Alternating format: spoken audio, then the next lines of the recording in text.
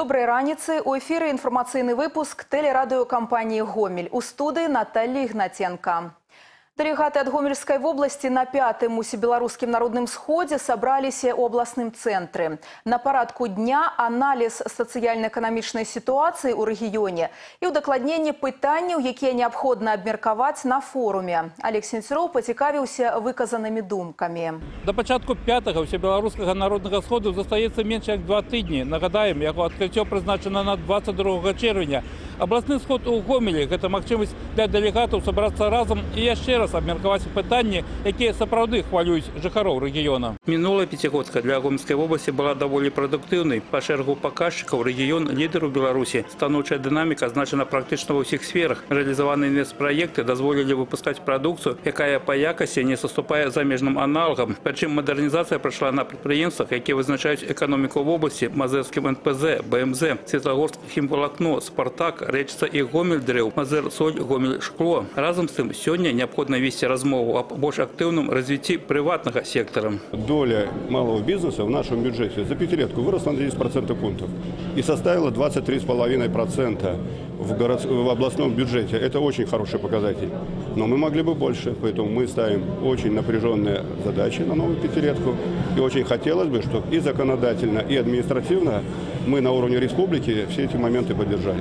Удзельнікі пятага ўсебеларускага сходу ад гомельскай вобласці перакананы, галоўная ўвага на форуме павінна быць нададзена эканамічнаму блоку, пры тым, што некаторыя прадстаўнікі рэгіёна прымалі ўдзел у распрацоўцы праекта сацыяльна-эканамічнага развіцця Беларусі на наступную пяцігодку. На думку дэлегатаў, сёння айчынная эканоміка павінна быць больш канкурэнтназдольнай, а таму неабходна ўлічваць усе сусветныя тэндэнцыі. Ситуация 2010 года, там, 12-13, она немножко не такая, как сейчас. Сейчас мир м, ушел очень далеко вперед, вышли на первый план новые технологии, новые проблемы э, в экономике, это, например, падение цен на энергоресурсы. И сейчас нам нужно принять новые решения для того, чтобы экономика и социальная сфера адаптировалась вот к этим новым тенденциям. У кожнага дэлегата пятага ўсебеларускага народнага сходу свой погляд на далейшае развіццё беларускай дзяржавы, які ў першую чаргу залежыць ад прафесіі чалавека. Медыкі разважаюць аб плюсах і мінусах страхавой медыцыны. Прадстаўнікі аграрнага сектара кажуць аб неабходнасці больш рацыянальнага расходавання сродкаў і беражлівасці на справе, а не на словах. Курсант гомельскага інжынернага інстытута МНС Войка Мельченко, чалавек з актыўнай жыццёвай пазіцыі, стыпендыят спецыяльнага фонда прэзідэнта па падтрымцы таленавітай моладзі, член рэспубліканскага студэнцкага савета, пераможца конкурса прафесійнага майстэрства. На форуме жадае пачуць меркаванне наконт стварення для насельніцтва больш бяспечных умоў жыцця. Аб бяспецы будучых пакаленняў неабходна клапаціцца зараз. Начиная с самого детства, обучая э, детей вопросам безопасности и о том, как необходимо вести себя в различных ситуациях, можно будет в будущем с уверенностью сказать, что будет общество, в котором можно будет минимизировать потери, минимизировать ущерб и иметь объединенное общество и социум для того, чтобы решать какие-то вопросы и ситуации различные проблемные. Олег Сентюров, Валерий Гапанько, телерадиокомпания «Гомель». Сёння ў кінатэатры мір адбудзецца пасяджэнне калегіі галоўнага ўправлення ідэалагічнай работы, культуры і па справах моладзі гомельскага аблвыканкама. На парадку дня тэма кінавідэабслугоўвання сельскага насельніцтва рэгіёна і шляхі па ўдасканаленню гэтай работы. Сярод удзельнікаў калегіі кіраўніцтва вобласці і прадстаўнікі міністэрства культуры Рэспублікі Беларусь, кіраўнікі кінавідэапрадпрыемстваў. Падрабязнасці ў нашых наступных выпусках. У гомелі прайшло першае пасяджэнне абласной камісіі па кантролі за ходам падрыхтоўкі і правядзення уступнай кампаніі. У камітэт дзяржаўнага кантролю запрасілі таксама прадстаўнікоў пунктаў тэсціравання і навучальных устаноў. Асноўную ўвагу на пасяджэнне надалі пытаннем правядзення першага этапу уступнай кампаніі цэнтралізаванаму тэсціраванню. Сёлета яно пройдзе ў перыяд з 13 да 27 чэрвеня. Што тычыцца пунктаў тэсціравання, то на гомельшчыне Гомельшчыне яны будуць знаходзіцца ў мазырскім педагагічным універсітэце, светлагорскім дзяржаўным індустрыяльным каледжы, гомельскім дзяржаўным універсітэце, гомельскім тэхнічным універсітэце, беларускім дзяржаўным універсітэце транспарту і беларускім гандлёва-эканамічным універсітэце спажывецкай кааперацыі. Тэсціраванне будзе праводзіцца па 15 прадметах, першым з якіх стане беларуская мова. Хочу напомнить, что э, в текущую вступительную кампанию в Комитете государственного контроля работает горячая телефонная линия, на которую э, абитуриенты и их родители могут обратиться по волнующим их вопросам. Ее телефоны 23 83 86. Сёння навучэнцы гомельскай вобласці ўрачыста развітаюцца са сваімі альма-матер. Ва ўсіх школах рэгіёна пройдуць выпускныя вечары. Сёлета атэстаты будуць уручаны больш як 8 з паловай тысячам выпускнікоў 11 класаў. Атэстаты аб базавай адукацыі атрымаюць каля 14 тысяч выпускнікоў 9 класаў. Традыцыйна выпускныя адбудуцца на базе школ, ліцэяў і гімназіі.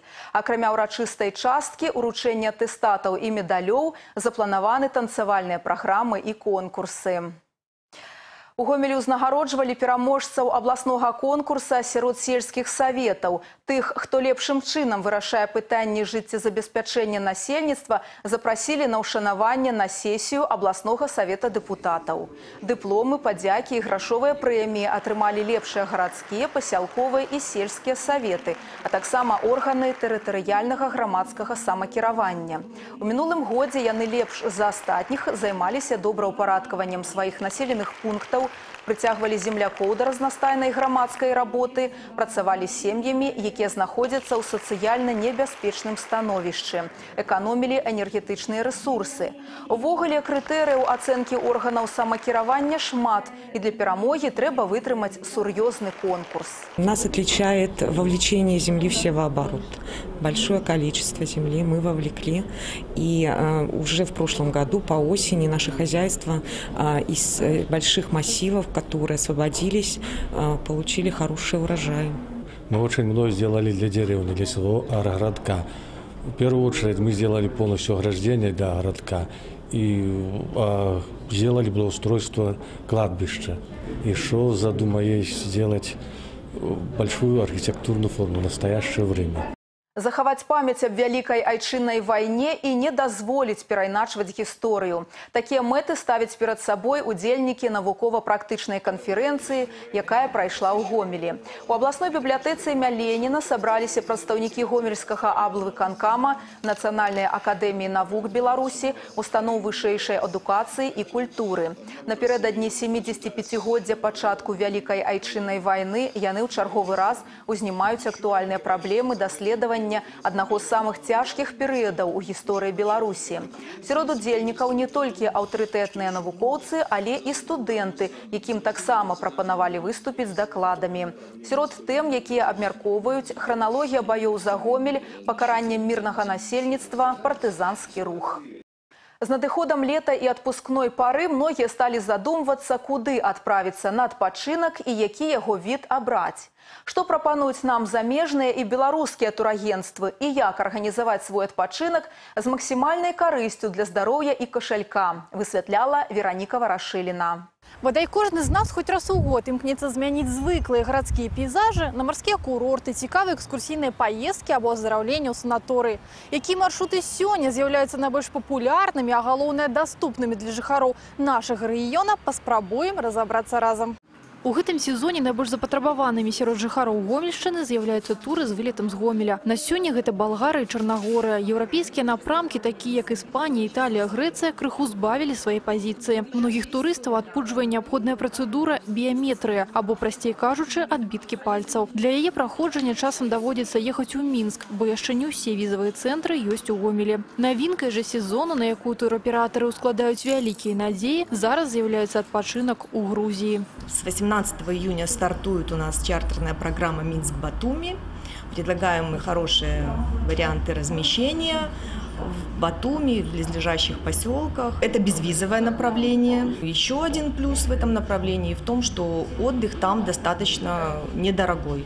Што тычыцца цанавога дыяпазону, бадай самым выгадным па цане і якасці варыянтам на сёння з'яўляецца Балгарыя. Адпачынак у гэтай краіне ў залежнасці ад умоў харчавання і пражывання разам з вылетам з гомеля на 9-10 нашэй у сярэднім будзе каштаваць ад 300 до 500 еўра на чалавека. Чарнагорая абыдзецца крыху даражэй ад 400 еўра без харчавання. Самымі элітнымі варыянтамі па-ранейшаму застаюцца экзатычныя мальдывы і сейшэлы ад 3 до 5 тысяч долараў на дваіх. Дарэчы, зараз удвая края знізіліся кошты на адпачынак у отелях класа люкс у Турцыі. Таксама ў гэтым сезоне бываюць выгадныя прапановы гарачых тураў, як, напрыклад, адпачынак у Іспанію ўсяго за 750 еўра на дваіх пры ўмове адкрытай візы. У цэлым еўрапейскія турыстычныя напрамкі займаюць сярэднюю цанавую прыступку. Мы рекомендуем в европейских странах туристам брать э, питание полупансион, это завтрак и ужин, чтобы максимально уже было оплачено питание при отдыхе. Это обойдется около 600 евро, 500-600 евро с человека вместе с перелетом. Прапануюць жыхарам Гомельшчыны шмат цікавых беларускіх турпаслуг. Сярод найбольш запатрабаваных айчынных экскурсійныя маршруты прызваныя расказваць пра багатую гісторыю і культуру нашай роднай зямлі. Гэта унікальныя палацава-паркавыя установы, такія як Мірскі і Несцерскі замак, палац румянцавых і паскевічаў, знакамітыя святыні, у тым ліку горад тураў і іншыя знакавыя месцы, якія прывабліваюць сваёй прыгажосцю і спрадвечнасцю мясцовых і замежных турыстаў. Трэба адзначыць, кошт такіх паездак з'яўляецца вельмі доступным. Ён вар'іруецца ад 80 до 500 тысяч беларускіх рублёў. А ў апошні час у Беларусі актыўна развіваецца і вытворчы турызм. Гэта экскурсіі на вядучыя прадпрыемствы краіны з дэгустацыяй прадукцыі. Таксама не губляе сваю актуальнасць адпачынак у агра-экасядзібах. Іх на тэрыторыі Гомельшчыны размяшчаецца больш як 200, ад эканом да віп-класа. Тут прапануюць самыя розныя напрамкі адпачынку, ад лазні, рыбалкі, палявання да сплаву на турыстычных байдарках. Па-ранейшаму запатрабаванымі з'яўляюцца і беларускія санаторы. Дарэчы, адным аздараўленнем тут звычайна таксама не абмяжоўваюцца. Мы сотрудничаем с санаториями, когда людей с- забираем прямо из санатория и везем на экскурсии.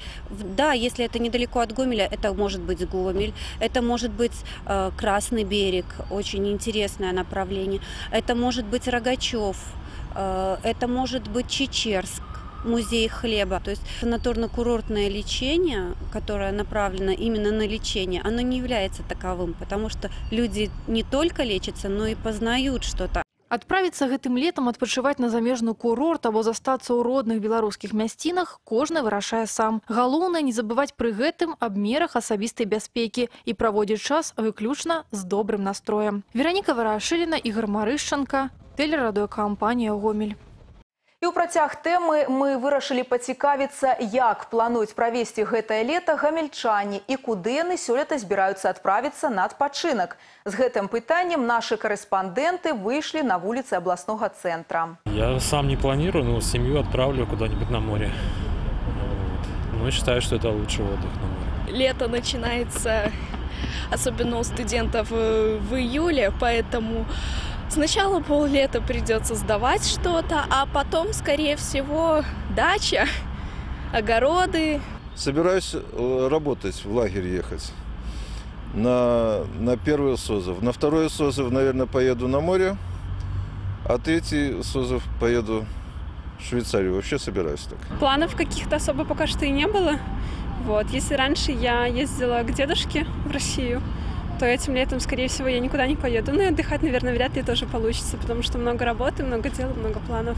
Сёння ў праграме добрый вечар гомель вас чакае сустрэча з выкладчыцай гомельскага дзяржаўнага універсітэта імя францыска скарыны літаратуразнаўцай Наталіяй суславай калі цябе няма ў інтэрнэце цябе няма наогул так выказаў сваю думку пра распаўсюджванне сучасных інфармацыйных тэхналогій амерыканскі прадпрымальнік билл гейтс электронная інфармацыйная сетка уплывае сёння бадай на кожны бок нашага жыцця у тым ліку і на моўную творчасць З'явіўся нават асобны напрамак развіцця сучаснай літаратуры, так званая сеткавая літаратура, якая існуе толькі на прасторах інтэрнэта. Што гэта такое? Чым сеткавая літаратура адрозніваецца ад традыцыйнай? Пра гэта кандыдат філалагічных навук, дацэнт кафедры рускай і сусветнай літаратуры ГДУ імя Францыска Скарыны Наталья Суслава раскажа падчас сустрэчы з вядучым Сергеем Краснабародам у праграме Добры вечар гомель. Сёння ў 19:30 на канале Беларусь 4. І гэта была апошняя інфармацыя нашага ранішняга выпуску. У студыі працавала Наталья Ігнаценка. Я і мае калегі жадаем вам удалага дня. Да новых сустрэч у эфіры.